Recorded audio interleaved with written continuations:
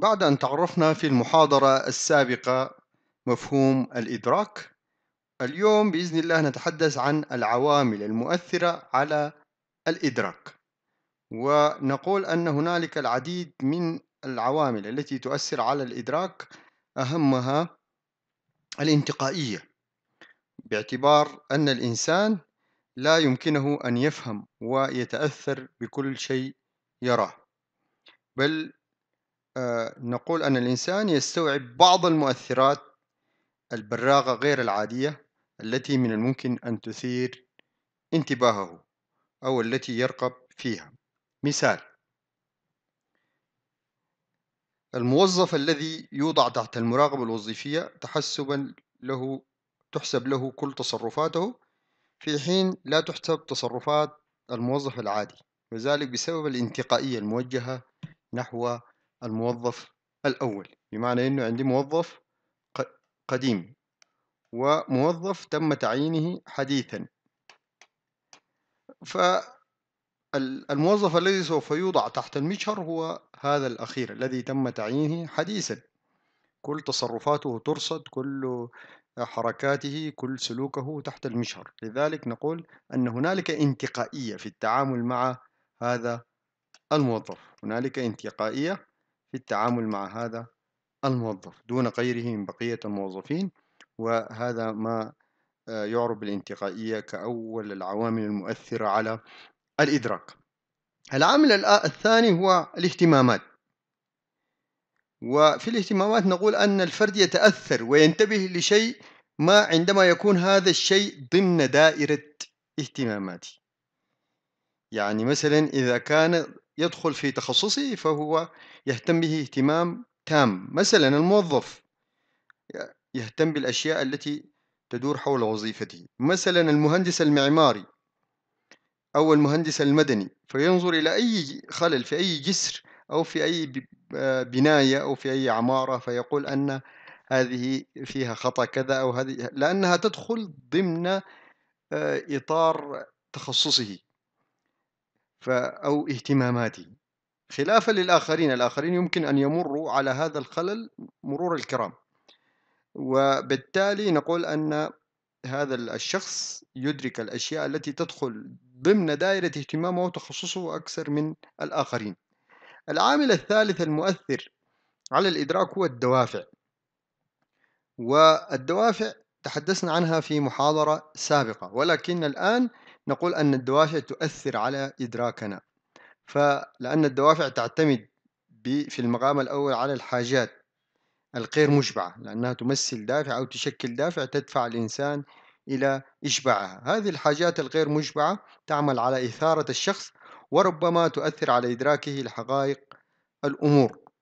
ومثلا المثال الظاهر أمامنا في هذا الشاشة في هذه الشاشة مثلا نقول أن الموظف الذي يشعر بالأمان الوظيفي ف آه، أو يشعر بعدم الأمان الوظيفي يعني يفسر كل شيء.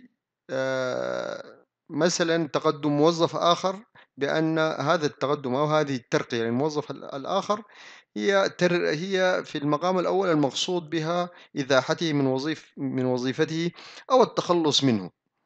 آه، لذلك نقول أن دوافع الإنسان هي تفسر سلوكه وهي تؤثر على إدراكه قبل أن تؤثر على سلوكه. العامل المؤثر كذلك على الإدراك هو التوقعات. فإذا كان هنالك توقع محدد فإن الفرد لا يرى إلا ما يتوقعه سواء كان هذا الشيء الذي يتوقعه يمثل الحقيقة أم لا. وهذه واضحة. من العوامل أيضا المؤثرة على الإدراك الخبرة الماضية التجارب الماضية تؤثر على إدراكنا. يعني فالأحداث التي أصبحت أقل غرابة ولم تعد جديدة تصبح أقل إثارة لحواسنا واهتماماتنا.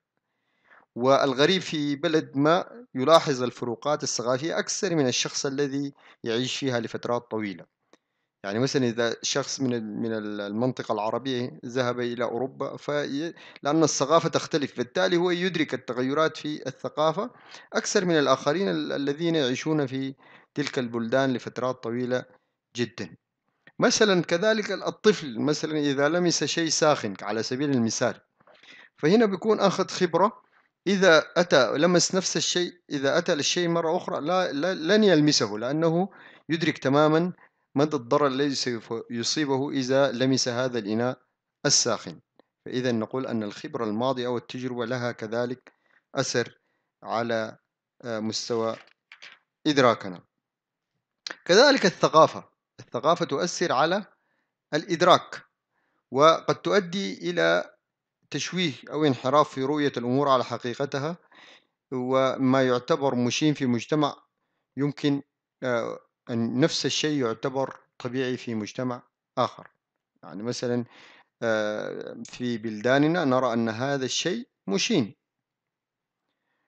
ولكن نفس الشيء هذا إذا شفناه في مجتمع آخر نرى أنه شيء هو شيء طبيعي. يعني ما فيه أي عيب أو ما فيه مشكلة. لكن عندنا في بيئتنا نرى أن هذا الشيء مشين. في بلد ثاني نفس الشيء يمكن أن يروه طبيعي. هذا من تأثير الثقافة برضو هي تؤثر على إدراكنا على الأشياء. أخيرا نقول أن آخر عنصر يؤثر على الإدراك هو ما يعرف بتأثير الهالة. وتأثير الهالة هو دائما يعتبر من العوامل التي تؤثر على مداركنا لأننا نبني انطباعاتنا بناء على المظهر بناء على اللباقة بناء على صفات ممكن نراها في شخص. يعني مثلا نرى أن الشخص هذا لبق حسن المظهر اجتماعي ونركز على الأشياء الظاهرية اللي هي فيها تأثير الهالة ونغفل بقية الجوانب الأخرى. آه إذا نكون قد استكملنا العوامل المؤثرة على الإدراك. إلى أن نلقاكم في محاضرة قادمة. السلام عليكم ورحمة الله وبركاته.